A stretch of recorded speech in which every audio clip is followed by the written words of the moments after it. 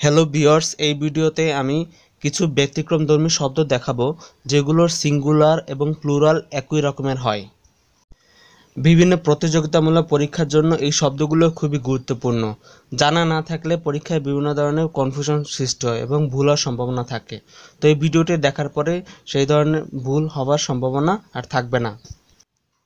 শব্দগুলো হলো deer sheep cannon pair gross piece, apparatus, species, swine, salmon, stone, troop. এরকম আরও গুরুত্বপূর্ণ টপিকের ওপর ভিডিও পেতে আমাদের চ্যানেলটি সাবস্ক্রাইব করে রাখুন। ধন্যবাদ।